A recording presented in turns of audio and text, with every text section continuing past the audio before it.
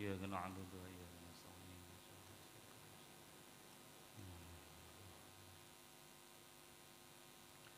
بسم الله الرحمن الرحيم الحمد لله رب العالمين والصلاة والسلام على أشرف الأنبياء والمرسلين سيدنا ومولانا محمد وعلى آله وصحبه أجمعين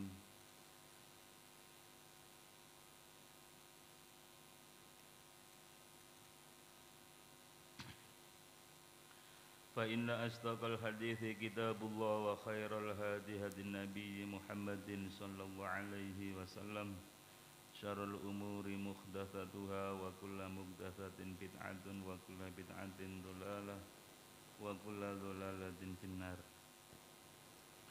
بسم الله الرحمن الرحيم Kul ngucapa sapa sira Muhammad khitabun utawi lafat kul iku ndawuhi.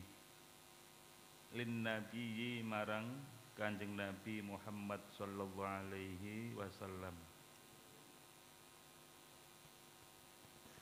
Ya ayuhan nasu Hoi iling-iling menungso. Inni sak temene ingsun Rasulullahi iku utusane Allah ilaiku marang sira kabeh jami'an hali kabeh alladzi rupane zat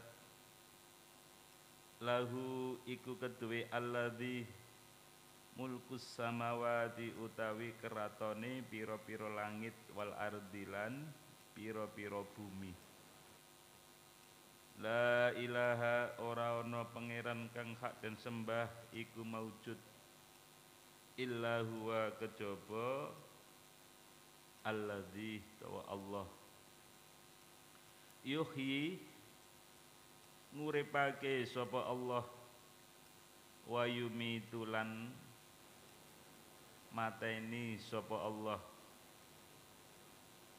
Fa aminu mongko padha imano sapa sira kabeh. Billahi kelawan Allah wa rasulihi lan utusane Allah. An-nabi kang dadi nabi al ummi kang bangsa ora bisa maca lan nulis. Jadi al ummi niki Kanjeng Nabi diperintah karo Gusti Allah. Diperintah ngomongi nanggone kabeh wong kabeh menungso.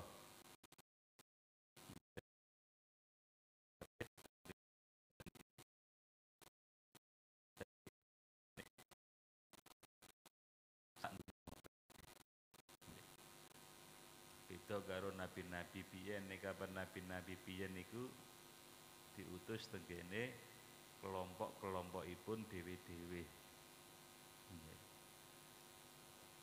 kados Nabi Soleh, kaum Samud, nggih kaum Ad, kan ngoten.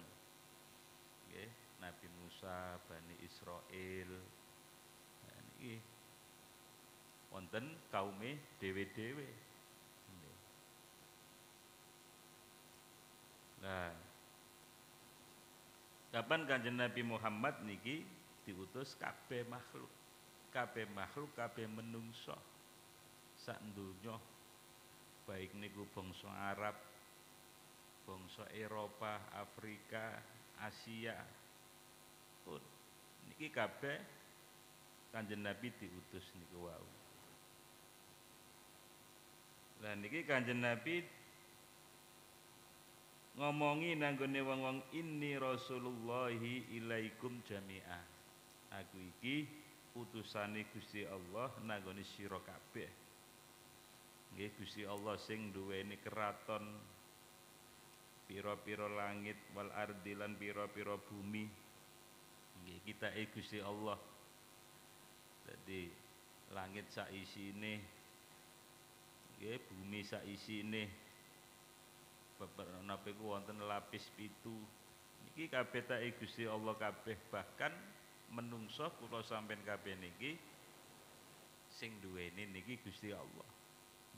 Mulane kapan menungso iki milike Gusti Allah. Bondo-bondo sampeyan sing sampeyan nggo sing sampeyan duweni niku titipane Gusti Allah. Dengan seperti itu mulane menungso tidak bisa menentukan kematiannya sendiri. Iki mboten saged. Kematian wong niki diparingi sugih utawa dadi wong sing penak niki kehendake Gusti Allah. Nggih, kehendake Gusti Allah kabeh. Menungso ndak bisa menentukan niki napa nasibe dadi wong sugih ngene mboten saged. Wong niku iso sugih dadi niki kabeh kehendake Gusti Allah kabeh. Ora iso nentokno mati kapan. Apa dikit nentokno aku menikmati wae umur-umur 200 tahun. Mboten mboten saged. Sebabnya napa? yuhyi wa yumitu Gusti Allah iku sing nguripno ya sing maten sing paling berhak. Sebab napa sing duwe. Nggih ta? Kula kabeh niki sing duwe Gusti Allah. Jadi di uripno sampai beberapa tahun pirang puluh tahun ratusan tahun. Nggih niki sak kersane Gusti Allah. Wa yumitu Gusti Allah mateni kula sampean kabeh nggih. Kapan-kapan pun niku urusane Gusti Allah. Wis kadung Gusti Allah nentokno gak iso ana sing nolak. Fa idza jaa ajaluhum la yastakhiruna sa'ata wala yastaqdim. Ini kapan wis kadung tumeka ajale nggih. Mboten enten. Ora kena diundur ya gak kena diajak gak kena diajakno. Lane fa aminu Gusti Allah sing mateni, Gusti Allah sing nguripno. Fa aminu mongko padha imano sapa sira kabeh billahi. Lane padha imano percaya marang Gusti Allah taata marang Gusti Allah. Wa rasulihi lan utusane Allah an-nabi al-ummi. Utusane Gusti Allah sing dadi nabi sing gak iso maca, gak iso nulis. Sinten? Kanjeng Nabi Muhammad. Muhammad. Kanjeng Nabi dadi rasul, dadi nabi, tapi Kanjeng Nabi niki mboten saged maca. Kanjeng Nabi mboten saged nu nulis. Tapi Kanjeng Nabi dikai keistimewaan termasuk salah satu dari sifat rasul nopo fato fatona kecerdasan yang luar biasa. Okay. Kecerdasan yang luar biasa yang tidak diberikan kepada selain roh Rasul.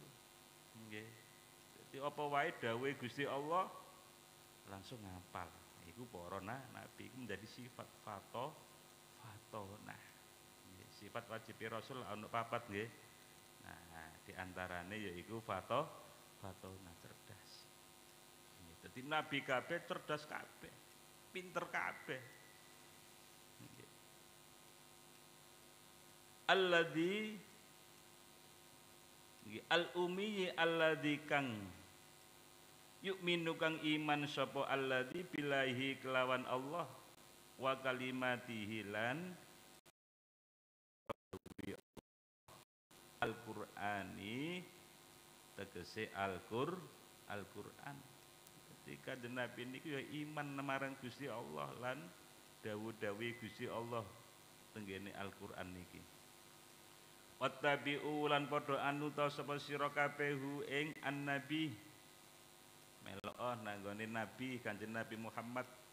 La'allakum supaya sira kabeh tahtaduna iku oleh pituduh sapa sira kabeh. Tarsyuduna oleh pituduh dalan kang bener sapa sira kabeh. Nggih melok kapan kepengin sampean kepengin dadi wong sing bener lakon sampean kepingin tepak nggih melo oh Kanjeng Nabi Muhammad sallallahu alaihi wasallam. Wattabi'uhu. Melok wong nek kapan gak gelem melok nanggone Kanjeng Nabi bakal kesasar uripe. Lakone bakal ora ora tepak. Lah terus piye carane melok Kanjeng Nabi niku? Wong kita kabeh niki ora menangi Kanjeng Nabi. Loh Kanjeng Nabi kita kabeh niki mboten menangi Kanjeng Nabi. Tapi Kanjeng Nabi ninggalno napa perkara loro? Nggih yaiku Quran hadis sing nomor telu ninggal meneh yaiku ninggal murid Kanjeng Nabi. Rupa sahabat-sahabat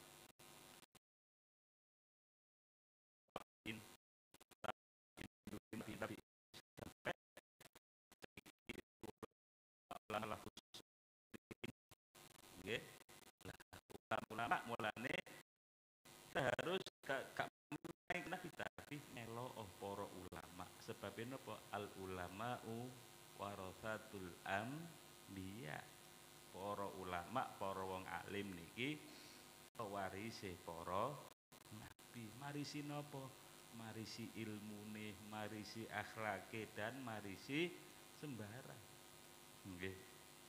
Niki mulane wonten dawuh kanjeng Nabi ittabi'u al ulama'a fa innahum surujud dunya. Nggih wal akhirah. Dari kanjeng Nabi melo ulama-ulama sebabnya sak temen ulama niku dadi lampune dunya lan akhirat. Nah ngene kapan sampean gateno wis melok kanjeng Nabi wae mau melok ulama nah terus sampean kan nang Nabi terus kepiye ora tau kepethuk kage ngoten La'allakum tahtadun. Wong kepingin oleh hidayah, oleh pituduh harus ikut Kanjeng Nabi. Dengan ikut Kanjeng Nabi otomatis wong niku akan mengikuti taat datang Allah Subhanahu wa taala. Nah, carane nurut perintah Kanjeng Nabi. Perintah nduk endi? Hadisipun Kanjeng Nabi kalau Al-Qur'an, hadis. Wa min qaumi Musa lan iku saking kaum Nabi Musa umatun utawi umat jamaatun tegese golongan ya dunakang padha nuduhake sapa umat annasa ing menungso bil kelawan bener wabihi wabihi lan kelawan. Al ya diluna podo adil sapa umat fil hukmi ing dalem. Mutusi. Nalan wa ta'na wa farraqna bani israilna wa nalan merenco-merenco sapa ingsun hum ing kaum Musa. Farraqna merenco-merenco mondok-mondok sapa ingsun di pondok-pondok niku napa? Dikumpulno sak kelompok sak kelompok. Nggih. Okotokna niku maknane ngelompok. Iki cara napa? Tenggene ilmu sorab ngoten faedah litakfir nggih. Kotok tu al hablah medot-medot sapa ingsun al hablah ing kan ngoten niki pada medot-medot kotokna niki merenco-merenco ngelompok-ngelompok Bani Israel niki dijadikan beberapa kelompok beberapa golongan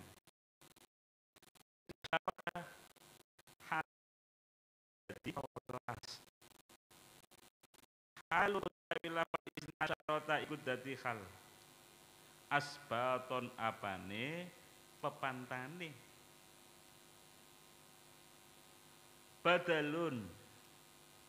Utawi asbaton ikut dadi batal minhu saking isna asyrota ai koba ila tegese dadi piro-piro kobilah umaman rupane piro-piro umat. Badalun utawi lafat umaman iku dadi badal mimma saking lafat qablahu ing dalem sadurunge umaman rupane asbaton. Wa auhayna lan paring wahyu sapa ingsun ila Musa marang Nabi Musa. Idistasqa ing dalem waktune njaluk siraman. Hu ing Musa kaumuhu sapa kaum Nabi Musa filtihi ing dalem. Niki napa? Tanah teh. Anidrib. Nggih nistasqahu qaumuhu filtihi ing dalam tanah alti ketika Nabi Musa berjalan melaku karo kaum Bani Israel nah, kaum Bani Israel niku mang dikelompok dadi rolas kelompok dadi ana pimpinane dewi-dewi ngoten mlaku. Nukune padha arang-ara nukune ora-ora maksud apa iku? Nukune padang pasir. Nggih. Marungoten do ngelak kabeh nggih kana udan. Marungoten njaluk niki napa? Siraman kanggo ngombe. Mari ngoten diperintah karo Gusti Allah. An tegese sak temenik anidrib tegese arep yen to mukulakena sapa sira bi asaka kelawan teken ira al hajara ing watu susah awakmu aja susah nek nek kene pancene gak ana ikune apa? Ora ana sumberane. Wis saiki kene ae nek kapan awakmu kepengin memenuhi karepe kebutuhane kaummu sing sakmono akeh iki kanggo masalah kebutuhan sing pokok yaiku rupa banyu tekenmu gepukno nanggone watu. Padoroba mongko mukulake sapa Musahu ing Padoroba mongko mukul sapa Musahu ing hajar. Pambajasat mongko mancur. Infajarot mancur. Minhu saking hajar isna asyrata apa rolas ainan apane sumberane? Biadadil asbati kelawan wilangane piro-piro pepantan. Nggih wilangane piro-piro pepantan watu gawa digewepuk karo Nabi Musa nggawa teken das langsung metu napa? Metu niki nih nggih. Metu banyune sumberane. Dadi sumberane nduk ngene watu iku mang gak dadi siji dadi rolas sumberan. Dadi mancur nah sing diarani pambajasat niki mancur dhuwur. Nggih mencok dadi koyok-koyok ngoten kena niki. Napa cara uh, sanyo ngoten sanyo sing bawang terus ngoten. Sesuai rolas sumberan rolas pancuran sesuai karo rolas golongan iki mang. Kot alima teman-teman waswaru kullu unasin sapa saben-saben menungso sibtin saben-saben pepantan minhum saking nas masyarbahum inggon inumane kulunas gitu dadi wis dhewe-dhewe. Iki mancur oh iki golongane si A iki si B sampai rolas baru dewe-dewe wa nalan ngaup-ngaupi sapa ingsun alaihim ing atase kulunas al-ghamama ing mendung filtihi ing dalem ora-ora teh. Min harri syamsi saking panase srengenge. Baru ngoten dadake mari ngoten mendung. Kan panas pancene tenggene padang pasir. Nggih watu-watu tok gak ana wit-witan blas. Panas are ngoten wis kei sumberan njaluk ngombe wis sampe luwe-luwe. Mari ngoten terus panas gak ana ayu paupane Gusti Allah nekakno men mendung. Nggih. Malaikat sing bagian mendung diperintahno karo Gusti Allah dikongkon nggawa mendung ngaup ngaupi kaumin Nabi Musa. Musa sak kaumin iki wau. Ya dadi yo adem. Wa anzalna lan nurunake sapa ingsun alaihim ing atase kaum Musa. Alma ing kang koyok madu wasalwalan iwak manuk kang lemu-lemu. Huma utawi almanna wasalwa.